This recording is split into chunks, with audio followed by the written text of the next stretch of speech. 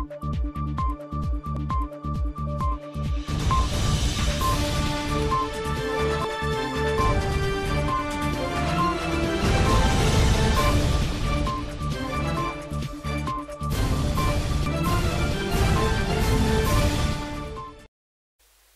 मी वर्षा. Shalini plus बातमीपत्रात सगळ्यांचं स्वागत. सुरुवातीला नजर टाकूयात हेडलाईन्सवर. मिशन इंद्रधनुष्य अभियान ऑक्टोबर ते डिसेंबरमध्ये राबवणार. दोन हजार अठरा अखेर नव्वद टक्के लसीकरणाचं उद्दिष्ट. सणासुदीच्या काळात एसटी वाढवणार प्रवास दर वीस दिवस कायम राहणार नवीन दर.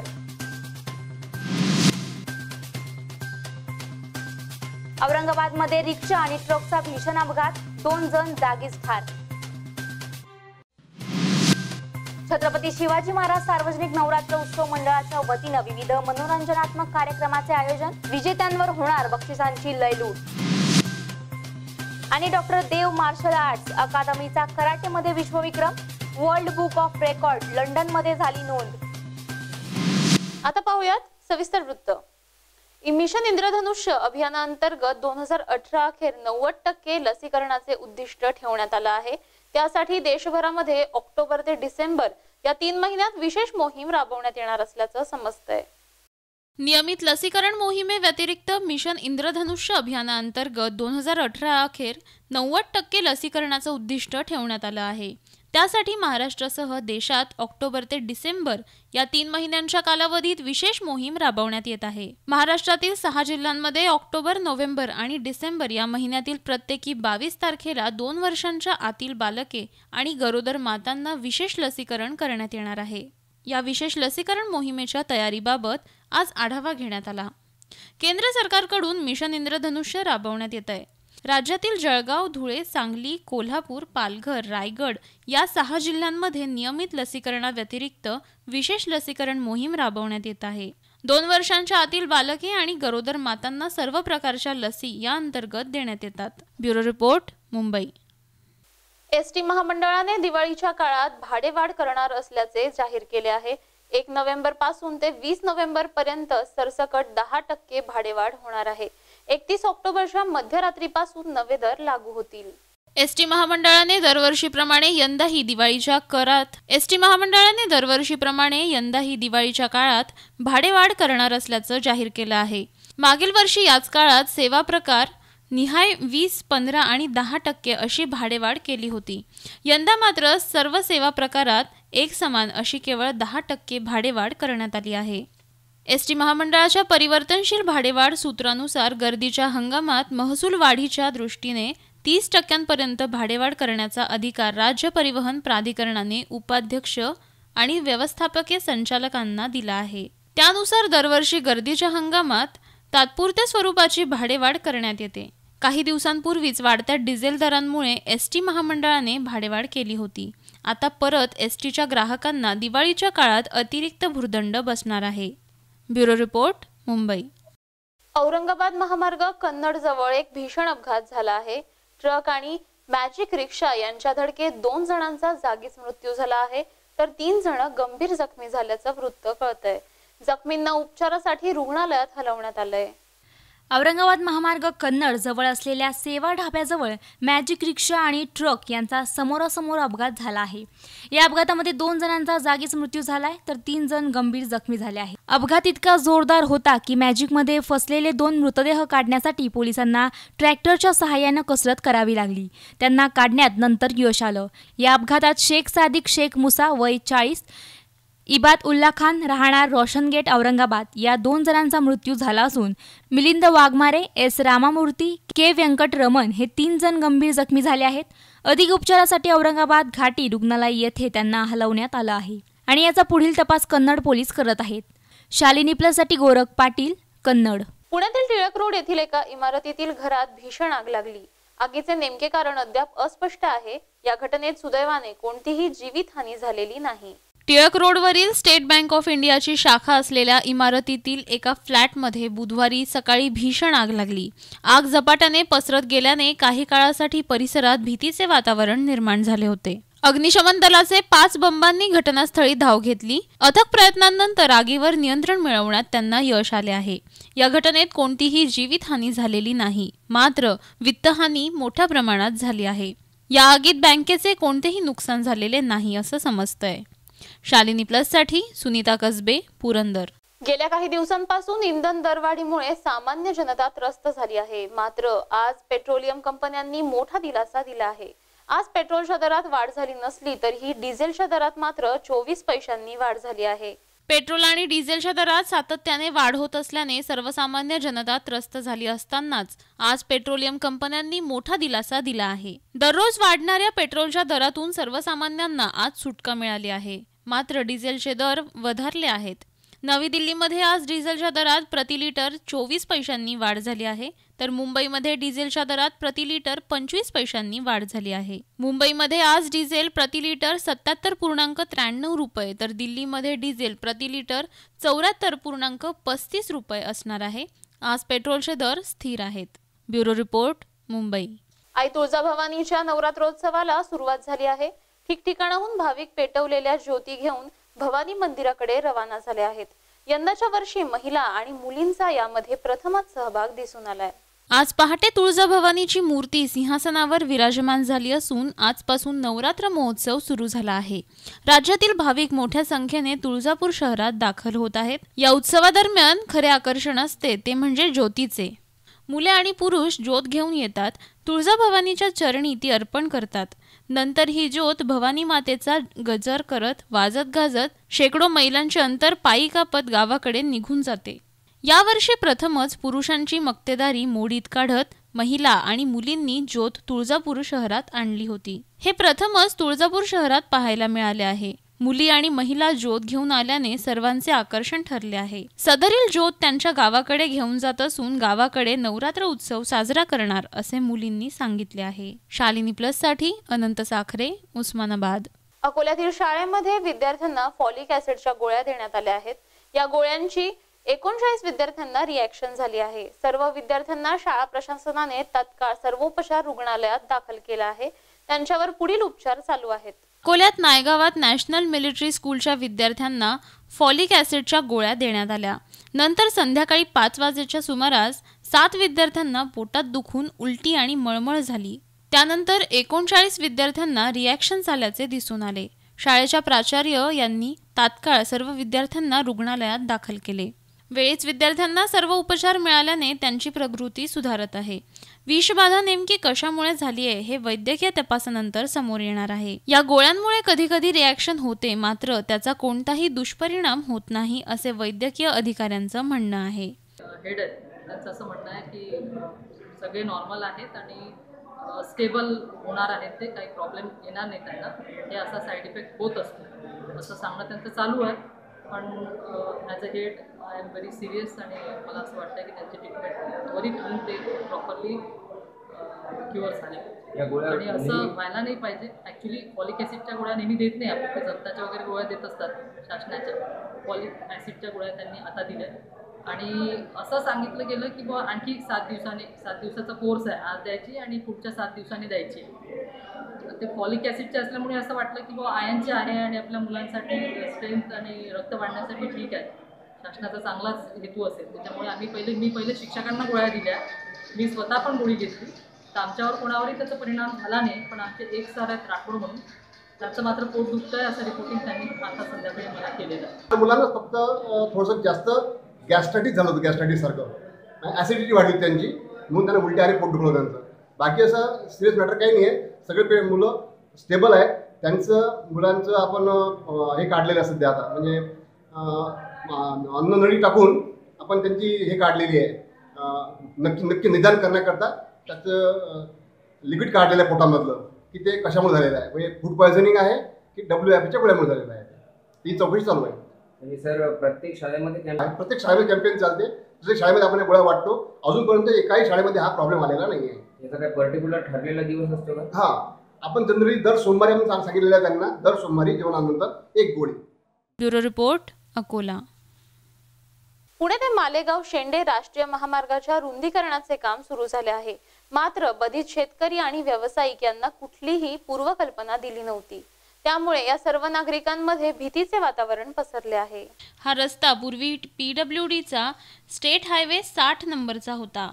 तो आता नॅशनल हायवे क्रमांक सहाशे त्रेपन्न असा वर्ग केला आहे. हा रस्ता पी डब्ल्यू डीने एकोणीसशे चौऱ्याऐंशी साली अधिग्रहण केला आहे असे समजते. परंतु त्यावेळी कोणाला नोटीस दिले आणि किती जागा अधिग्रहण केले कोणाला मोबदला दिला याची कोणालाही कल्पना नाही. त्यावेळी ही जागा अधिग्रहण केली गेली. त्याची सातबाऱ्यावर कुठल्याही प्रकारची नोंद नाही. आता सर्व बाधित नागरिकांना नोटीस पाठवली आहे. त्यामुळे सर्व नागरिक घाबरले आहेत. महाराष्ट्र राज्य रस्ते विकास महामंडळाचे कार्यकारी अभियंता संदीप पाटील यांच्याशी वेळोवेळी संपर्क साधला असता त्यांनी ही माहिती दिली नाही. त्यामुळे सर्व नागरिक संभ्रमात आहेत. संदीप पाटील सरांच्या सहीने नो काढण्यात आली आहेत. आणि त्यात आठ दिवसात राहती घरं दुकानं खाली करण्यास सांगितली आहे. त्यामुळे वातावरण तापले आहे. सर्व बधित नागरिक एकत्र येऊन पौड येथे सेनापती बापट सभागृह पंचायत समिती येथे सभा घेऊन एक समिती चांदणी चौक ते ताम्हिणी घाट नागरिक संघर्ष समिती गठीत करण्यात आली. आणि त्यावेळी तहसीलदार यांच्याकडे जाऊन कामकाज कसे चालू करण्यात आले याचे विचारपूस करण्यात आली. काम बंद करण्याची विनंती त्यांनी केली. आणि लवकरात लवकर बधित नागरिकांना न्याय मिळवून द्यावा अशी मागणीही यावेळी केली. तहसीलदार डोंगरे साहेब यांनीही हे मान्य केले आणि नागरिकांसमोर पाटील साहेबांना फोन लावला आणि काम बंद करण्याचा आदेश द्यावा असे विनंती केली. येत्या सोमवारी मीटिंग लावा आणि बधित नागरिकांचे समाधान करा अशी ही मागणी यावेळी करण्यात आली. माझं नाव हनुमंत चंद्रकांत सुर्वे. पुणे कोलाड चौक ते तामिनी घाट हा रस्ता काम चालू झालेले राष्ट्रीय महामार्ग. त्या राष्ट्रीय महामार्गामध्ये काही शेतकरी बाधित जातात शेत घरं जातात दुकानं जातात. अशा पद्धतीने शेतकऱ्यांचं भरपूर नुकसान होत आहे. त्यासाठी आज पंचायत समिती मुळशी सेनापती व्यापार सभागृह या ठिकाणी सर्व बाधित शेतकऱ्यांची एक मिटिंग घेण्यात आली. त्या मिटिंगमध्ये विविध प्रकारचे निर्णय झाले. तोपर्यंत शासनाने एक संघर्ष समिती निर्माण केली आम्ही सर्वांनी.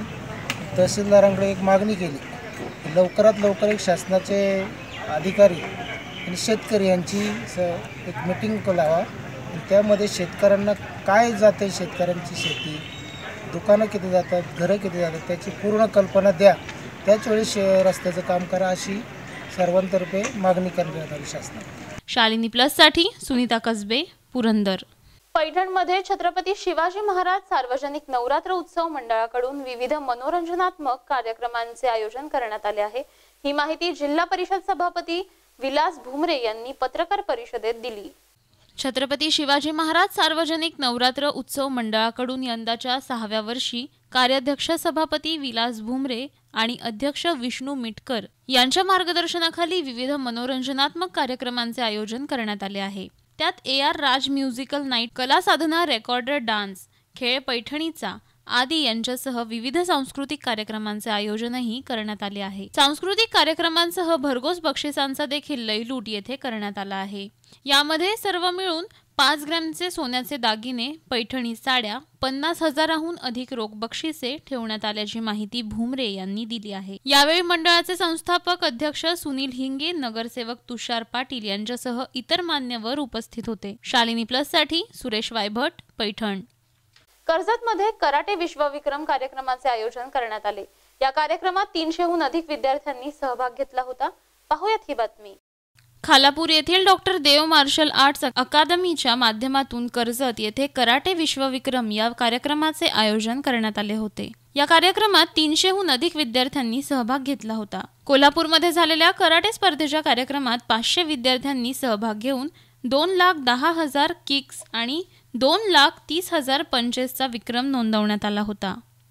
तो विक्रम मोडीत काढत डॉक्टर देव मार्शल आर्ट्स अकादमीने आठ लाख अडतीस हजार आठशे पंचेसचा नवा विक्रम प्रस्थापित केला आहे. हा विक्रम world book of record London यांची मान्यता घेऊन करण्यात आला. त्यामुळे या रेकॉर्डची माहिती कळवून world book of record London येथे नोंद करण्यात येणार असल्याचे निरीक्षक आशिमा शर्मा यांनी सांगितले आहे. मागील रेकॉर्ड आमच्या केवळ तीनशे विद्यार्थ्यांनी मोडीत काढला असल्याने ही आमच्यासाठी अभिमानाची बाब असल्याच्या भावना अकादमीचे डॉक्टर महादेव शिंदे यांनी बोलताना व्यक्त केल्या आहेत. Bureau report Karjat Raigad.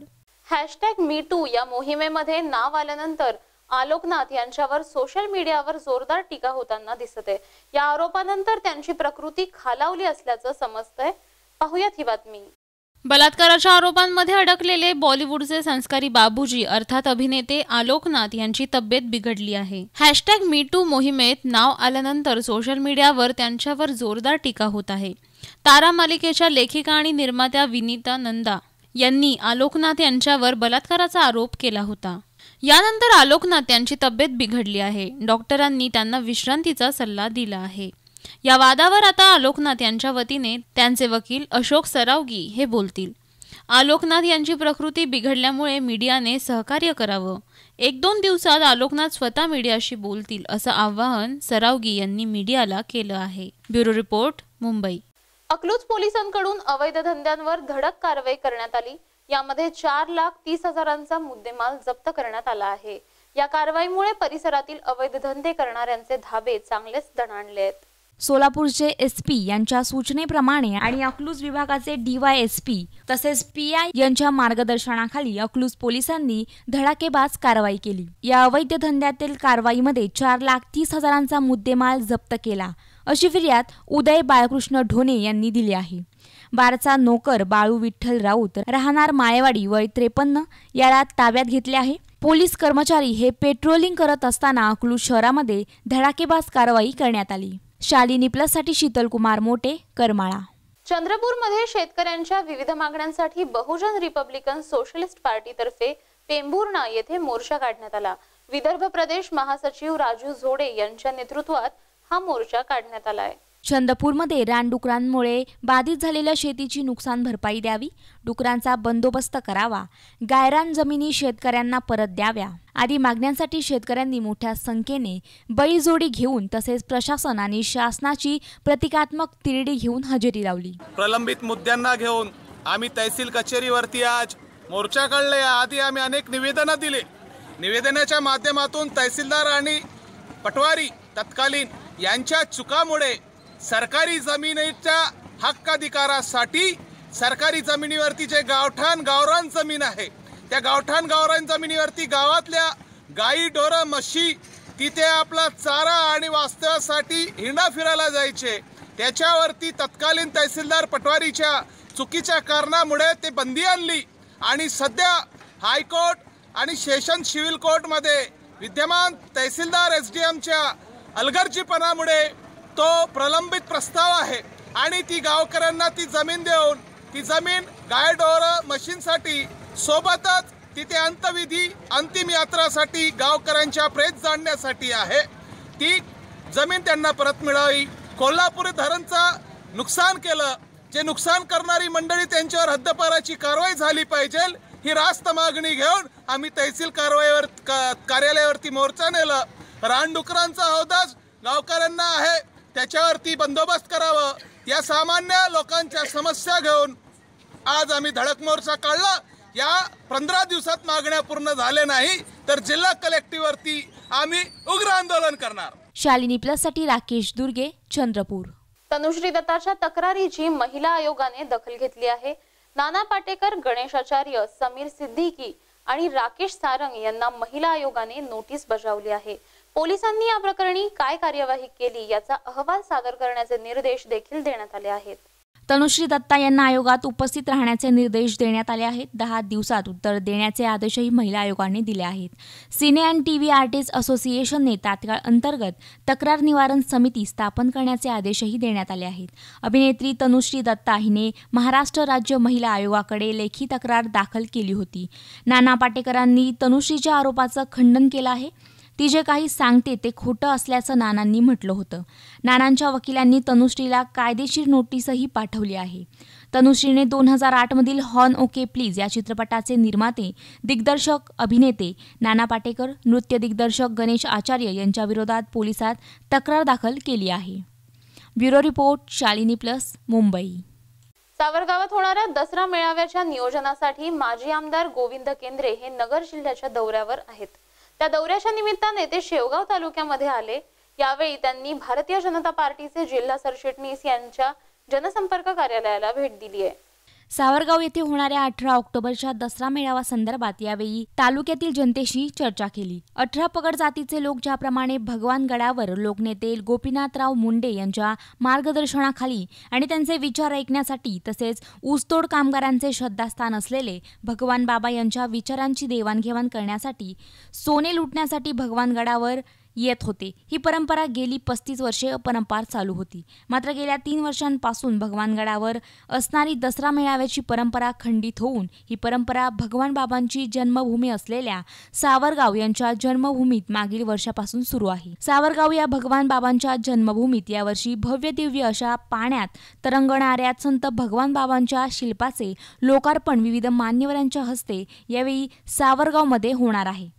या भूतपूर्व अशा सोहळ्यास राज्यभरातील तसेच महाराष्ट्र राज्याच्या बाहेरून विविध जाती धर्माचे लाखो भाविक यावेळी उपस्थित राहणार आहेत. दोन तीन दिवसापासून महाराष्ट्राच्या दौऱ्यावर आहे. आज पाथर्डी शेवगाव उकाना करत तीन वाजता नाशिकला बैठक आहे. उद्या बुलढाणा जिल्ह्यात आहे जालना जिल्ह्यात आहे. तर परमपूज्य भगवान बाबा यांचं गाव सावरगाव जन्मगाव. आणि या ठिकाणी भगवान बाबाचं खूप मोठं स्मारक होत आहे. आपल्याला माहीत आहे की भगवानगड बाबांनी स्थापन केला आणि मुंडे साहेबांनी त्या गडाला सगळ्या भारतात घेऊन गेलं त्याला वैभव प्राप्त करून दिलं. आणि साहेबांनी छत्तीस वर्षापासून ते परंपरा मेळाव्याची चालू केली होती. पण काहीतरी गालबोट लागलं तिथल्या महंतांनी ती परंपरा तोडण्याचं काम केलं. पण हा जो लोंढा मुंडे साहेबांनी तयार केलेला सगळ्या देशात होता जो दरवर्षी गडावर भगवान गडावर लाखोच्या संख्येने यायचा. तो दसऱ्याला तर ही परंपरा तोडण्याचं काम केलं पण ती काही परंपरा तुटली नाही त्यांच्याच कन्या ज्या साहेबांनी सांगितलं होतं गडावरून की माझ्यानंतर मला पंकजा दिसते म्हणून तर त्या पंकजाताईच्या नेतृत्वाखाली सावरगाव इथं खूप मोठं बाबांचं भगवान बाबाचं स्मारक होत आहे. आणि हा स्मारकाचा लोकार्पण सोहळा दसऱ्या दिवशी अठरा तारखेला होणार आहे. कमीत कमी माझ्या माहितीप्रमाणे दहा लाख लोक या मेळाव्याला जमतील एवढं प्रचार माध्यमाच्याद्वारे हा प्रचार झाला. लोकांच्या मनामध्ये श्रद्धा भावना निर्माण झालेली आहे. आणि म्हणून हे आव्हान करत करत मी महाराष्ट्राच्या दौऱ्यावर आहे. त्याप्रमाणे शेवगावच्याही लोकांना मी विनंती करायला आलो आहे या दसऱ्याच्या मेळाव्याला आपण लाखोच्या संख्येनं यावं अशी या निमित्तानं विनंती करू उद्या येणाऱ्या अठरा तारखेला दसऱ्याच्या मुहूर्तावर सालाबादप्रमाणे दसरा मेळावा आयोजन असतं. कित्येक वर्षापासून मान्य लोकनेते मुंडे साहेब यांच्या नेतृत्वाखाली भगवानगडावर मेळा व्हायचा. पण गेल्या तीन वर्षापासून महाराजाच्या विरोधामुळं तो मेळावा आता सावरगाव इथं घेण्याचं त्यांनी मागच्या वर्षापासून ठरवलं. मागच्या वर्षी अचानक चोवीस तास आधी त्यांनी घोषणा केली आणि लाखोचा समुदाय मिळवला ह्या वर्षी त्यांनी अशी घोषणा केली का तिथं मोठी अशी मूर्ती भगवान बाबाची जी देशात पुढत नाही एवढी मोठ्या प्रमाणातली मूर्ती भगवान बाबाची. शालिनी प्लससाठी रवी उगल मुगले शेवगाव. ऊस वाहतूक ठेकेदारांच्या बेमुदत राज्यव्यापी संपाची घोषणा करण्यात आली आहे. सोलापूर आणि उस्मानाबाद जिल्ह्याच्या वाहतूक ठेकेदारांचा भव्य अशा मेळाव्याचे आयोजन माढ्यात करण्यात आले होते. यावेळी अनेक मान्यवरांची येथे उपस्थिती दिसून आली. सोलापूरमध्ये या मेळाव्यात संघटनेचे अध्यक्ष रणजित पवार यांनी ऊसाचे एकही टिपरू कारखान्याकडे घेऊन जाण्याचा निर्णय घेतला. जोपर्यंत प्रलंबित मागण्या मान्य होत नाही तोवर राज्यातील ऊस वाहतूक ठेकेदारांचा संप सुरू राहण्याची घोषणा करून राज्यातील प्रत्येक जिल्ह्याच्या आणि तालुक्याच्या ठिकाणी रास्ता रोको आंदोलन करण्याची घोषणा यावेळी त्यांनी दिली. कारखानदारांच्या दबावाला बळी न पडता आंदोलनात सक्रिय होण्याची शपथ त्यांनी यावेळी सर्वांना दिली. कारखान्यांनी वाहतूक दर वाढ करावी ऊस वाहतूक ठेकेदार आणि ऊस तोडणी ठेकेदार यांचे स्वतंत्र करार करावेत. यासह अन्य मागण्यांसाठी हे आंदोलन पुकारण्यात आले. या मेळाव्यात ऊस वाहतूक ठेकेदारांनी आपल्या अडचणी बोलून दाखवल्या. जोपर्यंत मान्य होणार नाही तोपर्यंत आम्ही एकही ट्रक ट्रॅक्टर कारखान्याला जाऊ देणार नाही एकही टिपरू तुटणार नाही. त्याची अशी आज आम्ही इथून एल्गार केला आहे आणि येत्या अकरा तारखेला पूर्ण महाराष्ट्रात जिथे जिथे आमची संघटना जवळपास बारा तेरा जिल्ह्यात आमची संघटना सक्रिय झालेली आहे वाहन मालकात सक्रिय झाली आहेत होणाऱ्या अन्यायाविरुद्ध आवाज उठवण्यासाठी आज सगळे जागे झाले आहेत उठून आज संघ संघ संघर्षासाठी तयार आहेत. त्या त्या जिल्ह्यात आता येणाऱ्या अकरा तारखेला आम्ही संघटनेमार्फत रास्ता रोको करणार आहेत. हे शासन आणि कारखानदार यांना जागा करण्यासाठी पुढच्या अकरा तारखेला रास्ता रोको करणार आहेत. शालिनी प्लससाठी शीतल कुमार मोटे करमाळा. शेवटी पुन्हा एक नजर हेडलाईन्सवर मिशन इंद्रधनुष्य अभियान ऑक्टोबर ते डिसेंबरमध्ये राबवणार. दोन हजार अठरा अखेर नव्वद टक्के लसीकरणाचं उद्दिष्ट. सणासुदीच्या काळात एसटी वाढवणार प्रवास दर. वीस दिवस कायम राहणार नवीन दर.